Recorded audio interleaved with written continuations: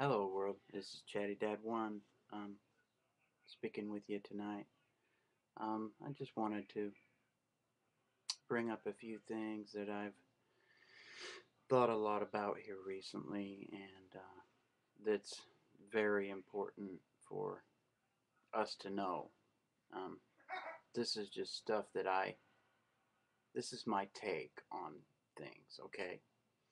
Um, through learning a lot of stuff, research, um, doing a lot of digging here and there, um, and talking with other people around the community and people um, in California that I know. I have relatives on the Midwest and some stuff that's, you know, that they feel. Um, one of the things that I'm kind of concerned about is how this shooting of this teenage um, young man was killed by um, Zimmerman.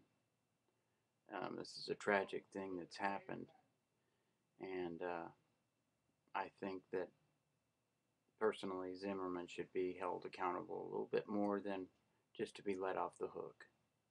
But I think that it's very suspicious the the situation and the circumstances that was happening. Um, this wasn't the first time Zimmerman had dealt with this young man. Um, the captain of this um, neighborhood watch, he was a loose cannon. Okay, why in why in this world he was allowed to be armed with a 9 millimeter handgun is beyond me. I, I just, I cannot get that through my head, especially with this guy having a record. Um, but he applied for the police academy in 2008 and they may have uh, found a way to, to, to get him past that.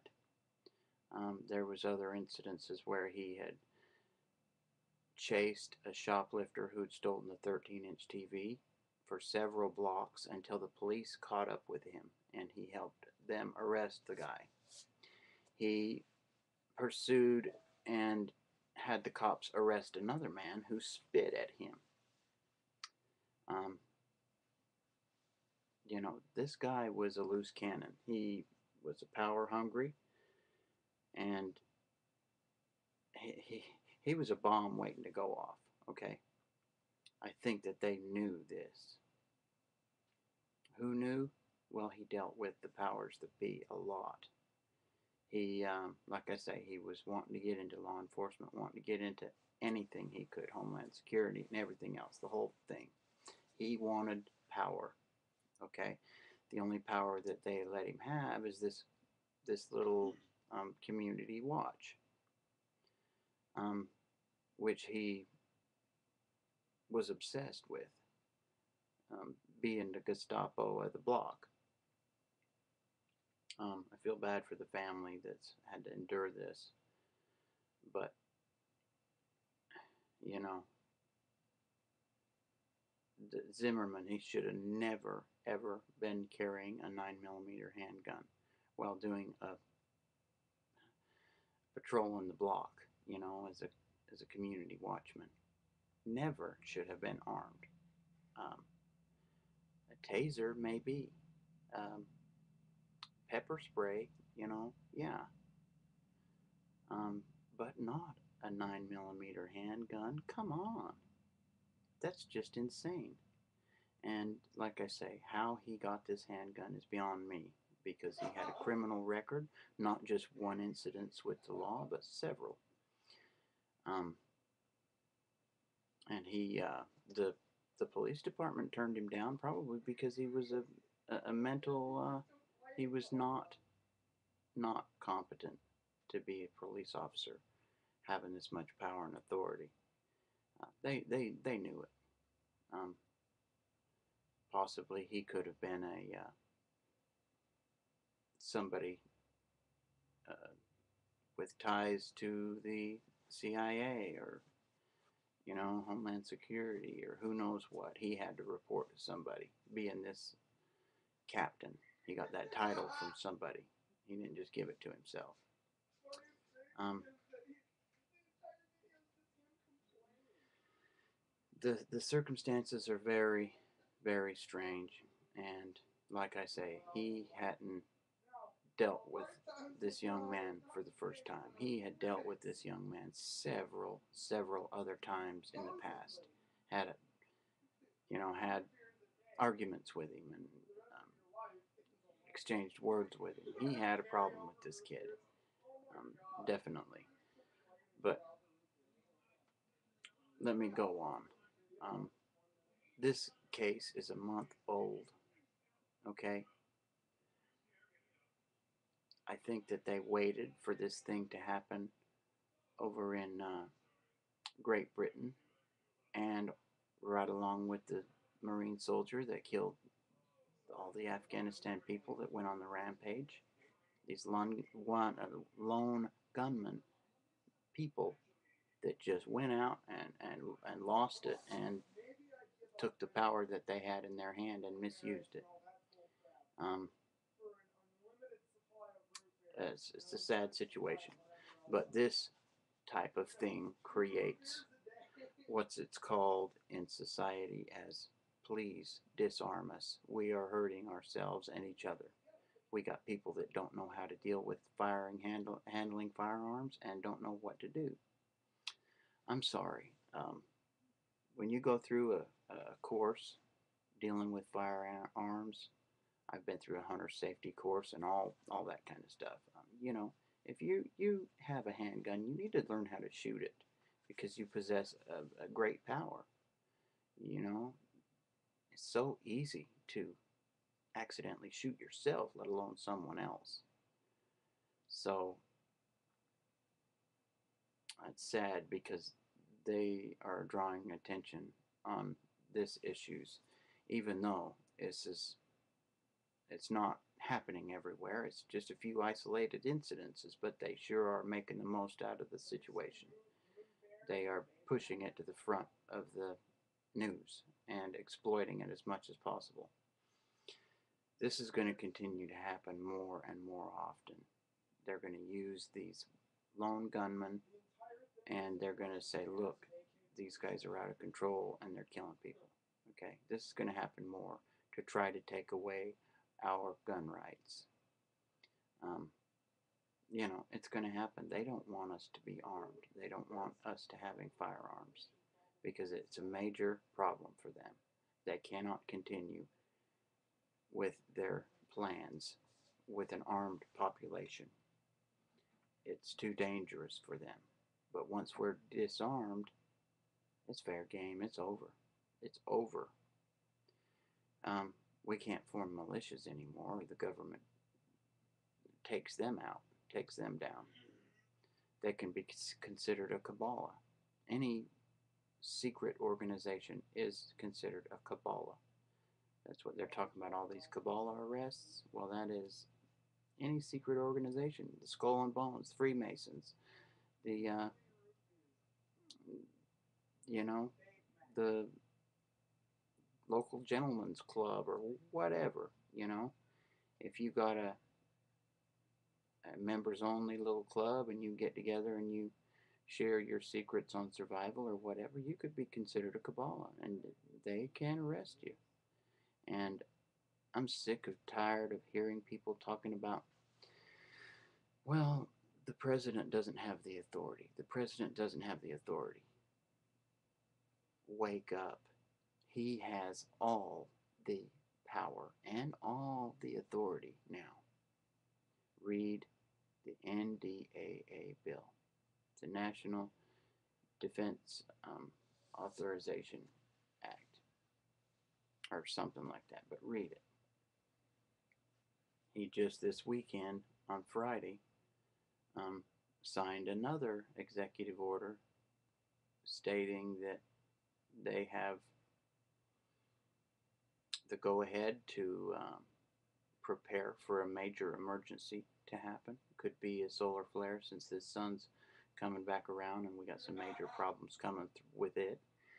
And they can come in and, and take your food, take your guns, take your eh, take anything that they seem and deem necessary to help them or to prevent problems from occurring. Okay? They have all the power they need. And I also figured out that the reason that I was um, treated the way I was when I was pulled over last month is because all cops are considered federal. Um, they can be called on and are under the federal net in any situation um, through these new NDAA acts and bills. Um, stuff's going down. Um, they're not going to arrest all these 10,000 people at once. They're already doing it here and there, though. Um, they're going down. But people, I don't think it would be in your best interest to go and take a concealed weapons permit class and take your own firearm. It's not going to be in your best interest to con- to keep and register your firearms. If you have firearms and you want to escape this without being killed or jailed, get rid of your firearms. You know what I'm saying? Get rid of them. Sell them. Um, throw them in the. No, get rid of them to where you have a proof that they are not in your possession anymore. And, you, you know, because if you've bought one from Walmart or any place else and they did a call in on you for the um, ATF, they know what you got. They know exactly what you got. And there's going to come the time where they're going to come and collect it up. Either in the name of we need this to um, supply these volunteers with arms, or we need to take this to secure the area so nobody comes in and takes this to, to use against us. I mean, the United States is now a war zone, uh, according to the government. So martial law can be slammed down on any moment, may already have been, but may not be in your area or my area. But it is in some areas, they're already clapping down. They're really coming after the Wall Street uh, protesters hard real hard. And I mean, they're they're getting bad with them. They're uh, trying to box them in, leaving them no place to go, and arrest them by the thousands to never be heard from again. Some of them may be. Anyhow, you guys, the information's all there. Go check it out. You know, and if you want to say that I don't know what I'm talking about and blah blah blah, you want to cite all these laws and stuff on me that's fine. But please go back and read the NDAA of uh, 17 something or other. Go go read it and, and look what it says. If anything poses a threat to this government, we can use, they can use military action against that entity, person, people, organization, whatever. All they got to do is say that you are a threat to the security of the nation. Okay? Whether you're a hacker, whether you're a survivalist, whatever. You're a threat. You know? I mean, it, it's starting to come fast, y'all. It's starting to come real fast. And, uh, a, UFO sightings are just up and they're coming out of the woodwork. And that's something that I think is going to probably come out soon too is this whole thing about, you know, disclosure. But this needs to happen because they have the free um, energy technology that we need.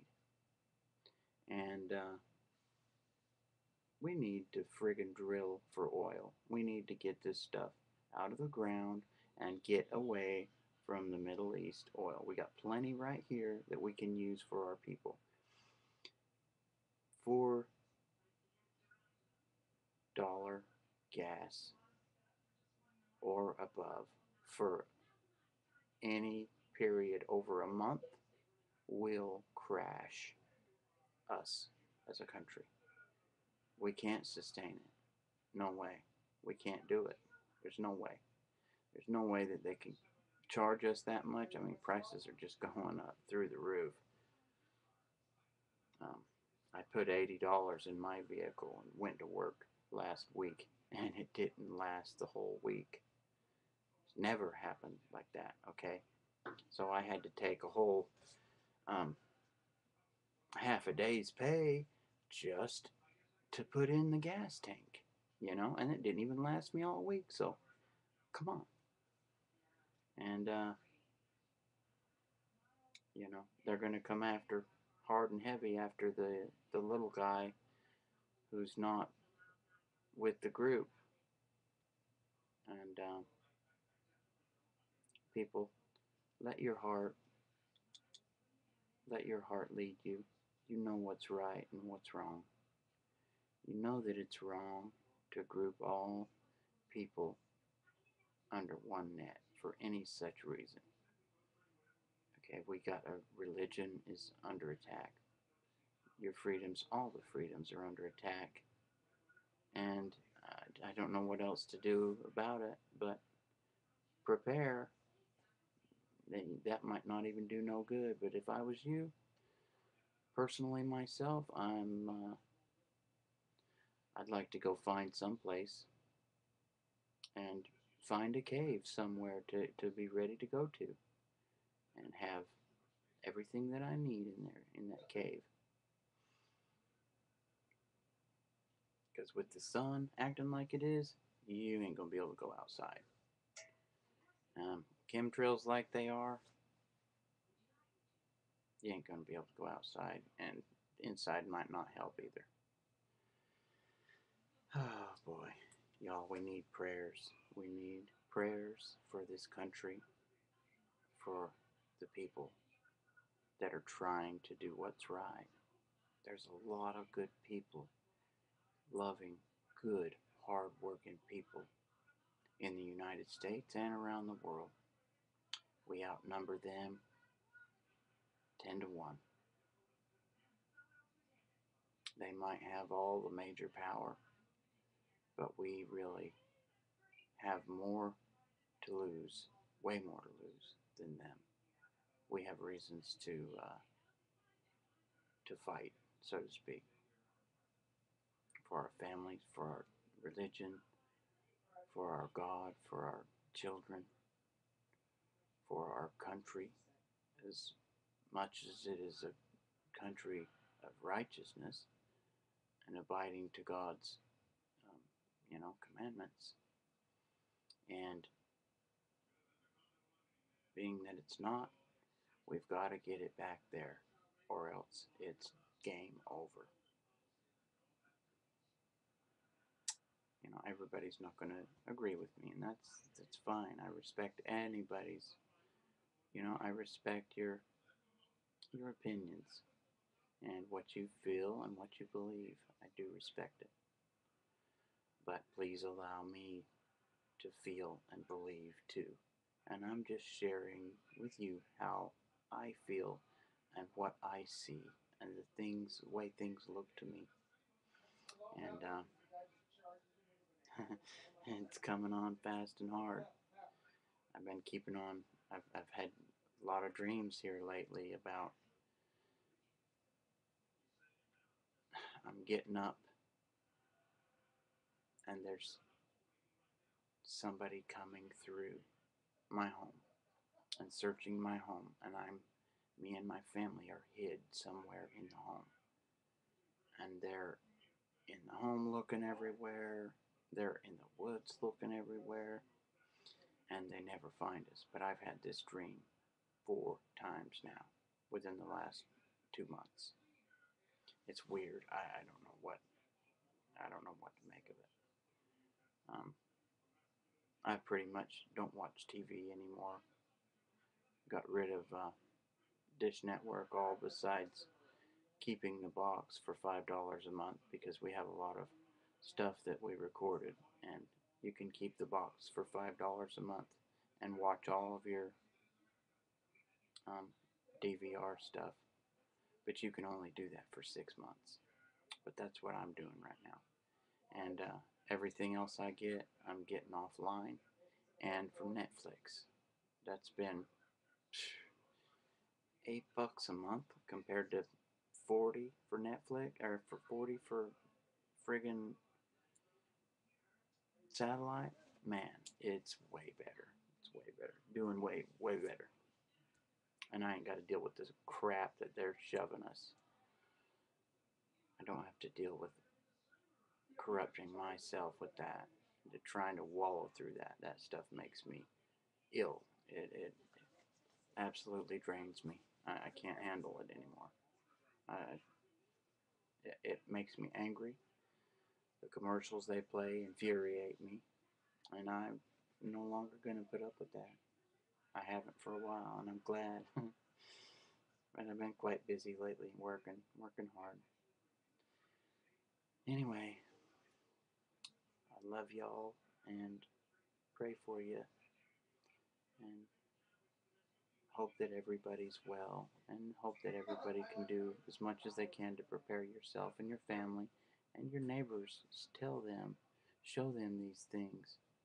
A lot of times, people hold within themselves because they think that somebody's going to call them crazy when your neighbor right down the road might have seen a UFO or believe the same thing. They might listen to Coast to Coast too. All you got to do is mention it, and boom, you'll be surprised how many people do um, have the same interests that you do, that I do. Um, I've been interestingly shocked by it myself. Uh, anyway, I'm not going to continue on. Sorry for being so long-winded. Anyways, good luck. God bless. This is Chaddy Daddy 1 over and out.